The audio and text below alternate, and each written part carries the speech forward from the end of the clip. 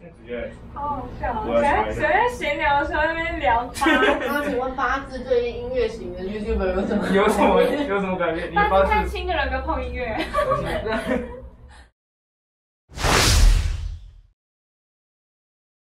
喽，大家好，我是 r i k N。那今天呢，有很荣幸地邀请到两位创作者来到我们现场。那两位创作者呢，都是在网络上面有在经营自己频道的 YouTuber，我应该不算 YouTube 吧，就是 曾经小有经也有跟我合作过 Pretender 这支影片的 Foxman 跟 Yui。嗨，大家好，我是 U 一。嗨，我是 Foxman。好，那今天呢，就是要来访谈两位在音乐路上，或者是在经营自己频道路上的一个就是心路历程之类的。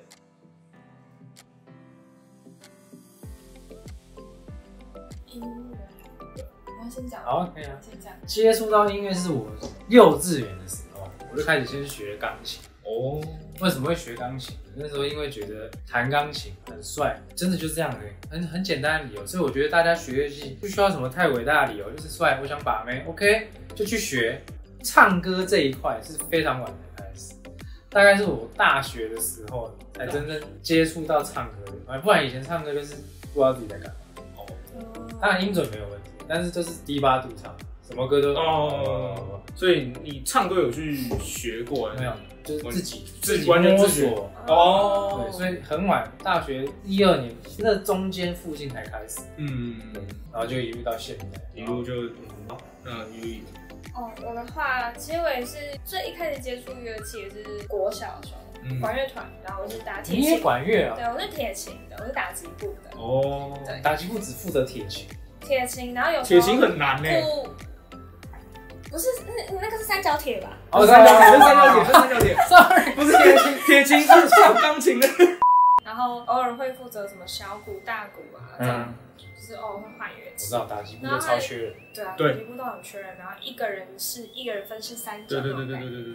高中的话，就刚好遇到我以前国中戏剧社的一个老师，嗯他就说他有就是找我去参加一个甄选，但反正那个甄选我最后是没上。就是他后来也想说，嗯，想要栽培我，然后就开始去上唱歌课之类的。哦然后再后来后续大学，因为我觉得好像有想要其他的路想要去做这样，嗯，对，想要发展不一样的。不一样的东西，嗯对。然后我觉得可能理念没有那么合，所以反正就是最后就几乎没有什么联络，对。然后第三个老板就是也有让我去，那时候才正式的去学一个呃乐器，就吉他，但是现在也是弹的蛮烂的，就封闭和弦也不会对。就是对啊，之后就是比较多都是在唱 cover 啦，嗯哦，反正就是接触音乐是蛮长一段时间的。嗯。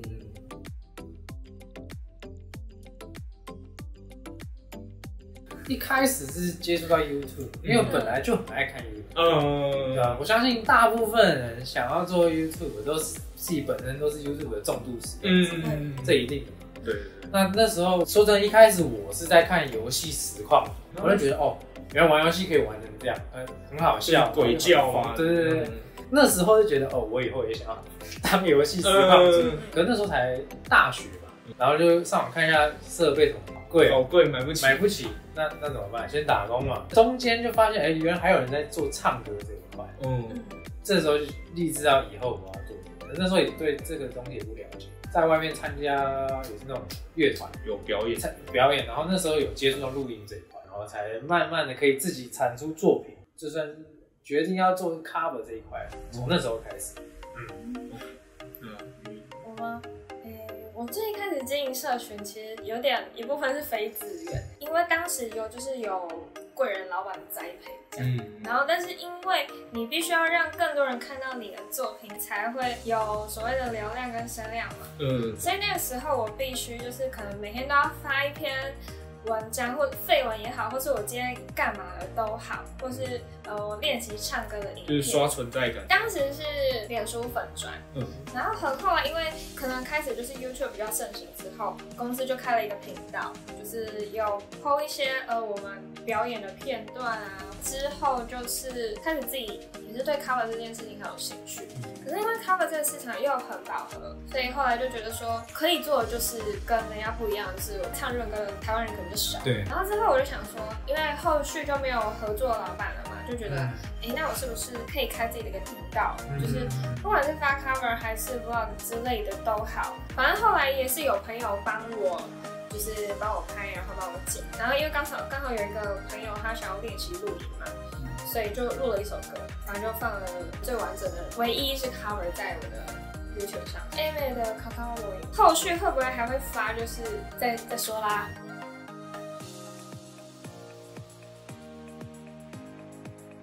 就要从前团体开始讲，对不对？保生路二号啊，印象深刻。我觉得这个就是做团体一定会遇到的事情，意见不合嘛，嗯吵架嘛，吵完叫解散嘛，嗯，当然一定的啊。那这时候，诶、怎么讲？解散原因就是每个人想做的事情不一样，然后再来就是那时候街头球，说真的做到后面已经没什么人要看，那就有个人就觉得这个东西就一定要做下去。舍不得放掉，然后就他拖着大家要把这件事一直做下去做下去。他最喜欢讲的一句话就是“自娱于人”，放屁！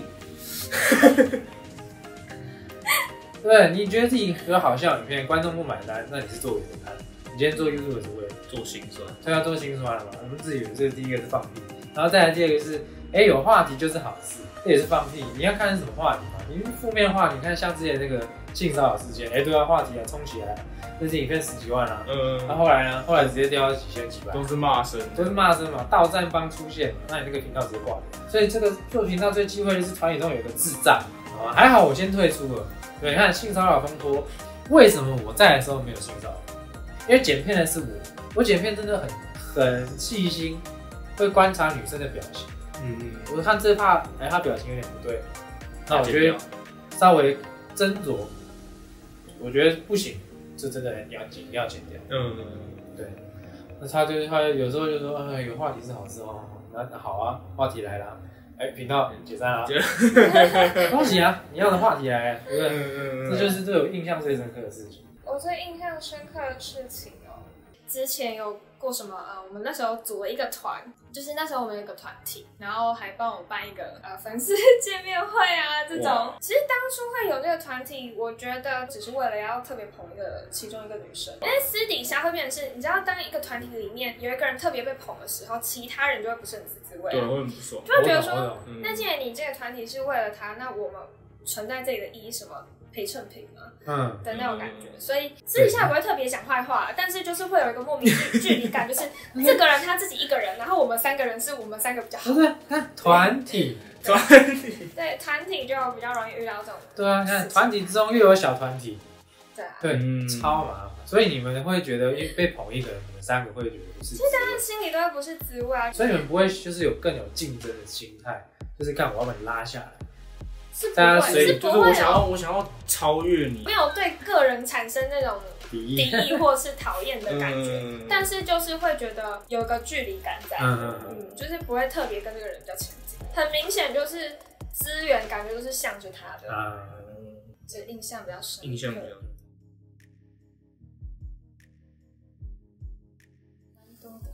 真的，蛮多的。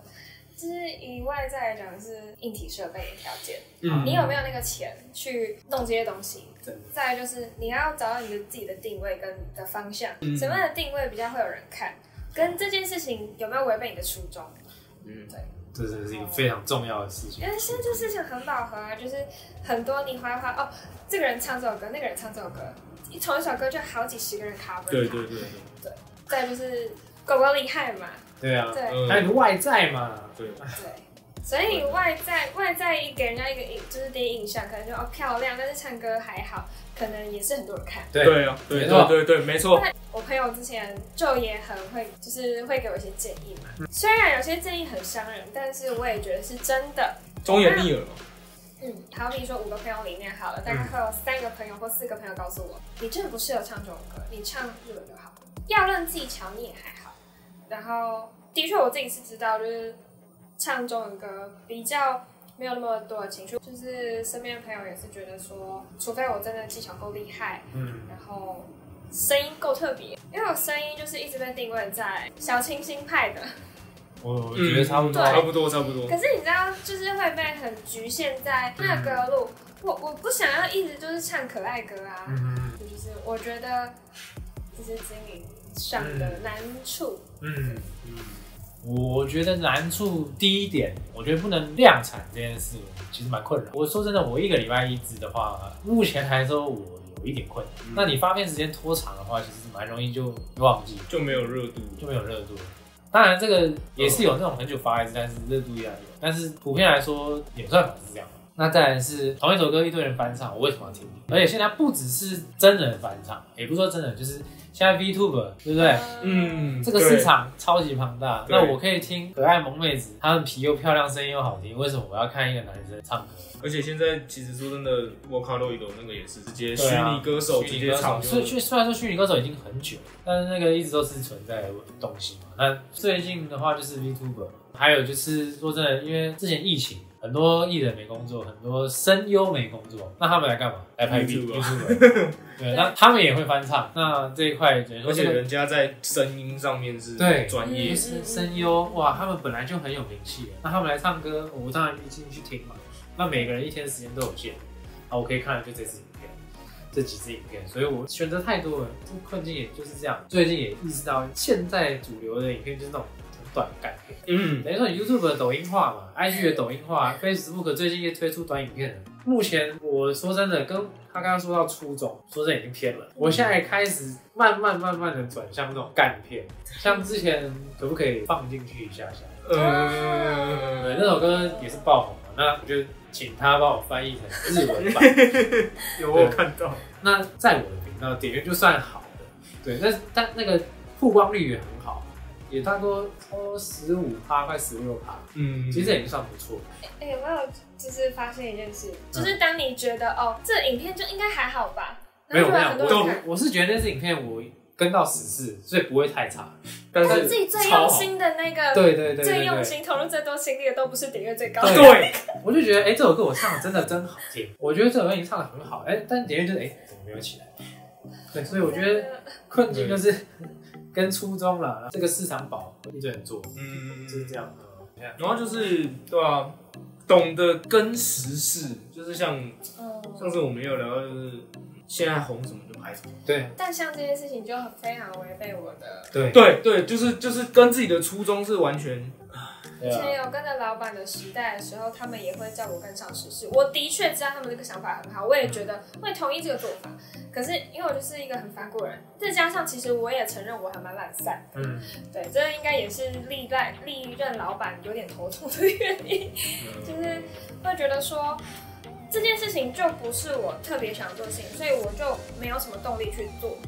然后就是做出来的东西有点，嗯，日文叫“吃多汉堡”，哦嗯，四不像的感觉，所以就会觉得，哎、那是不是干脆就是不要做比较好？所以我的东西都是那种久久产一次的。嗯所以我觉得现在是对我来说最好的方式就是没有跟老板吧，因为他们一定会想要一个绩效，嗯，对啊，你一定我就做不出一个，我就做不出一个成绩。因为毕竟他们有投资嘛，对啊，对，这方面但但是我还是有努力成分在的。有努力就好了啦。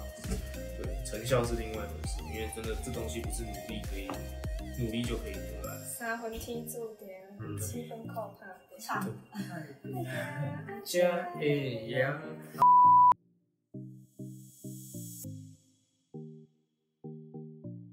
啊，就是每个人现在滑影片的形态变得就是快，所以我觉得对秀子的影响坏的就是我没有耐心听完你唱完整首，等于说我们以前的那种做法，但现在是不太适用。有点稍微被淘汰。对啊，当然你有实力还是会有一定的流量，但有没有影响？我觉得是有影响，等于是大家的形态转变。对，然后再来就是自己说真的，你的心情也会觉得，看那我要录整首歌吗。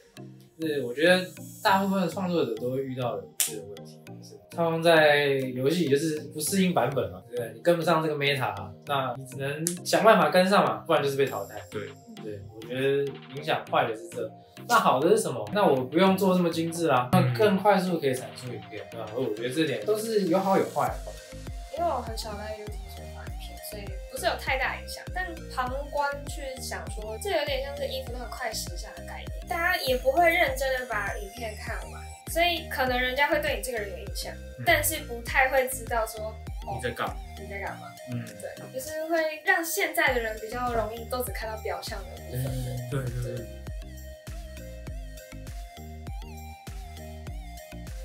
我觉得跟我要吃饭睡觉一样存在。这么重要啊？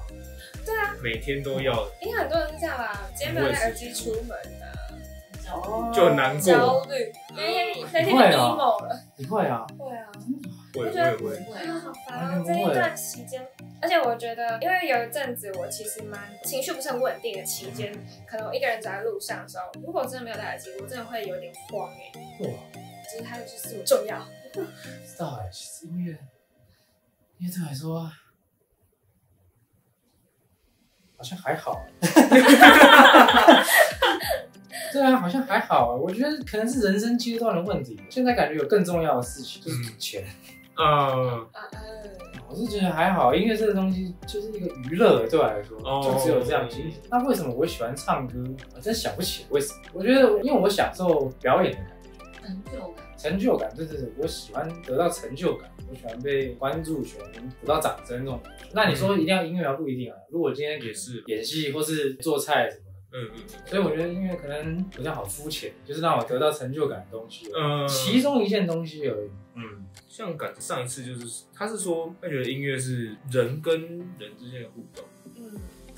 嗯，哦，可能画一幅画或者是做一首歌这样，但是我把我想要传达的东西哎呀，放在里面。对，我觉得音乐就是一个情绪的，抒发，对抒哎呀，那音乐很浪漫的，对，哎呀哎，因为 音乐很浪漫心情不好的时候也不会特别想听嗨歌啊，我心情不好也不会想听励志的歌啊，我心情不好就是想听让我心情不好的歌、啊。对，就是要飞到极对对致，对对对对对对，就是 emo 的时候听 emo 的歌。嗯，对啊开心的时候要听所以像我之前有一阵子很难过，每天都在听那个曾经我也想过一两百，哦，每天都在听，每天。哎，我是好乐团哎，你没有听过吗？哦好乐团是超 emo 的。对啊，超级 emo。哎，可是关于 Shorts，我这里有一个东西，你知道道？就是，大家知道 Shorts 是后来 YouTube 发展出来的嘛？对啊然后，那你们知道 Shorts 跟普通的影片是不同的演算法吗？知道嗯，对对，那通常你短影片，然后跟长影片，就假设如果你发长影片啊，你你一直发短影片好了，然后突然发长影片，那观众是不是就不太常看？然后你只要续看率低了，然后你的频道就不会被推出去了。那这个对，这个就是关于到演算法。那我觉得秀有一个很好的点，就是它的演算法非常的广，然后包括它不会影响到你其他影影片的演算法，所以你一直疯狂发秀，你被推的越多，越多人认识你，就有机会让你的长影片被人看到。我觉得这是一个比较好的地方。嗯因为很多人都以为，哦，我发很多 short 会影响到我的影片？其实不会，你狂发越多，没有人会在意。对对对对对，对这个挺好的。就最近要转型啊，对我最近也在转型。对然后转眼变成 TikToker 这样。对，对，明天就去办 TikTok 账哦，号我不是 YouTuber，我是 TikToker。那 IG Reels，不要用 YouTuber Real Real Real Real sorry，好烦不的。好做啦。嗯因为因为如果说一直一直做 short，你的收益就只有业配啊。嗯，对啊。好，感谢阿基分享。谢哦，是我专访。好，然后我们今天的访谈影片呢，就到这边结束啦。对，然后感谢感谢 Foxman 跟 Yui 还有阿基来来我的频道，然后呢，呃，Foxman、Yui 跟阿基的频道我都会放在下面的资讯栏那我这样我。是不是要露个脸？可以露个脸在来来来 IG 哎，这里还有一个，耶。都会在底下的资讯栏。那大家有兴趣的话，可以去看看他们频道。那喜欢的话，不妨给给我们留个言，或者按下下面那个喜欢跟订阅。对，那这次影片就到这边结束啦，我们下次再见，拜拜。